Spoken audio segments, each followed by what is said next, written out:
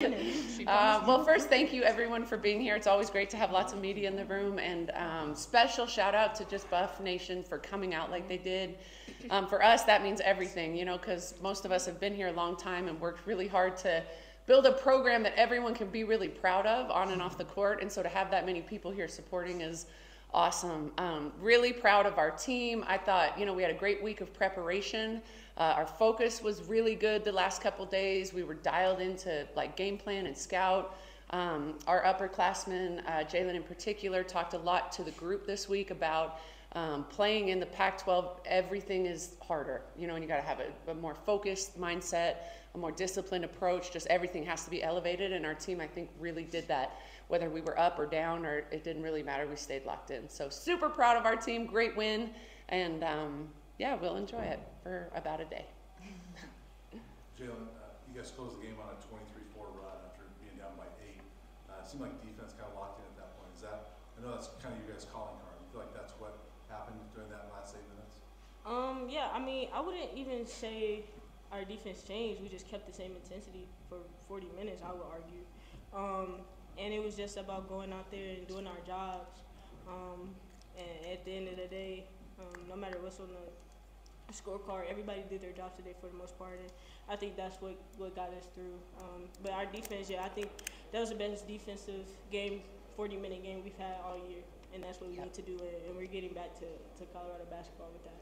How'd those last eight minutes feel though? You guys are down by 8 mm-hmm. to close like that. Mm-hmm. How'd that feel as you guys were on that run? Um, I actually didn't even pay attention that we were down by eight. I know Coach J called a timeout, um, but I mean, it was just the same for for me, I can't speak for everybody, but I just went in with the same mentality I had the whole game, which was to be aggressive. So um, nothing really changed. Um, and and it, basketball's a game of runs, and Utah's a great team. And we talked about all, all week, like they're going to go on a run.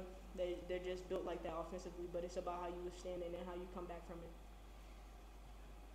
When you guys have the amount of fast break points you guys did today, I mean, how you, you did 29. I mean, how much was that part of the game plan? I mean, you also had 23 points off 20 turnovers. I mean, how much were you impressed with how you were able to disrupt what Utah wanted to do offensively and turn that into points on the other end? Yeah, okay, here, just so you guys know, that's always the game plan. So if we're not doing it, it means we're not executing the game plan.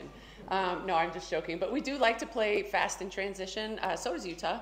Um, but that was definitely a part of our, you know, mindset going into the game was to look for opportunities to be aggressive in transition, whether that's kick aheads or you know off the bounce or post players running the floor, or whatever.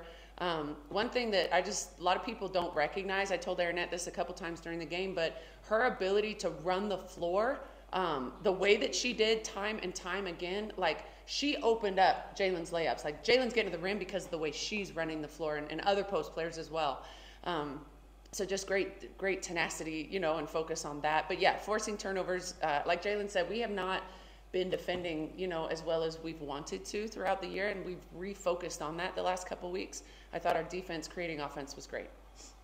How fun just is to be part of a game like this it, at the end of December? I mean, it felt like a, a Elite Eight, Sweet 16 kind of battle with two top 12 teams, and then you have USC, UCLA later today. I mean, how spoiled do you guys feel that you're? I mean, it's a challenge this conference, but yeah. being a part of it yeah, very spoiled. You know, everybody that chose to come to this conference, including transfers and um, you know coaches and everybody, like we we know how hard it is. We know how tough it is, and we want that. That's why we chose it.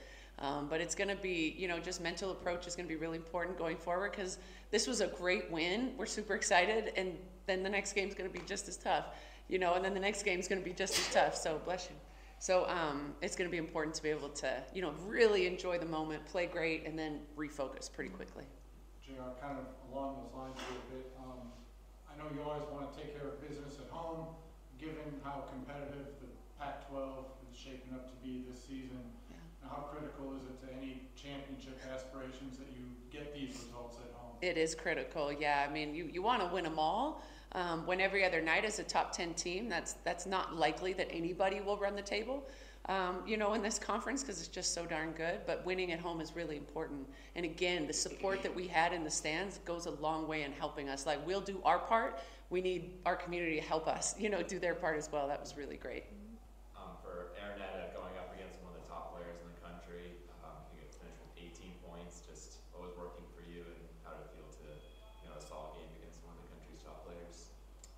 Yeah, I'd say Pili's like probably one of the strongest players I go against in conference. Um, but just like not giving up, constantly going at her, making her work defensively to try to tire her out. I mean, she's a really good player. She's gonna get hers, but just being able to respond on the other end. I think you played a lot of that fourth quarter with four fouls too. Just did anything change for you there? Knowing you were close. Honestly, no. Like I had four fouls, either foul out and be aggressive, or the only option was to be aggressive, so that's what I focused on. Kind of piggybacking on that, Aaron, she, she had it going in the first half, and then in the second half, it felt like you guys made it a lot tougher on her. I think she turned the ball over five times after halftime. What was kind of the adjustment or the mentality change, whatever, to, uh, to kind of make that adjustment, make it more difficult for her in the second half? Um, I think just more pressure, making her more uncomfortable. I thought in the first half she got a lot of easy, like drives to the rim and just open shots. So just the adjustment was just to be more aggressive, make her have to make a different decision than what she wants to do. Jack, it seemed like you found uh, a really found the five you needed today in that in that fourth quarter and, and kind of wrote it. And Sarah was obviously a big part of that. I mean, at what, at what point did you realize this was kind of the, the group that you were going to close the game with today? Um, I don't know. I mean, I think we have tremendous depth, and I think you know there's going to be some nights that some players need to be on the floor based on who they're playing or how they're playing, um, you know, and what how they're hurting us or how we're trying to you know attack them. Um, I think we trust everybody, you know, that plays. We trust them to come in and do their job. And I thought Sarah was incredible on the glass tonight, which we desperately needed. They're a really good rebounding team. Um, you know, and then her, her defense was great to be able to contest the perimeter, but also get out and get a couple pick sixes um, and lay them up. Like really, really great minutes. But I, I know that our team stays really focused. So whoever's in at the end of the game is going to be like dialed in, and as well as everybody else on the bench, focused and, and dialed in. Sarah, I- you came here for games like this, I know, um, how much fun was it for you to be able to be in a game like this, but also contribute like you did today? Yeah, it was cool. I think, you know, like first game in the Pac 12, um, there's a different style than the SEC, I guess, but I think it was just really fun and literally exactly what you said. This is, you know, the reason that I came here and, you know, playing at high competition every single day, day in, day out. It's exactly what I wanted. I know you always like to rebound, but was that a message given to you, like you need to rebound today? Mm-hmm. By everyone. Jaylyn promised me dinner.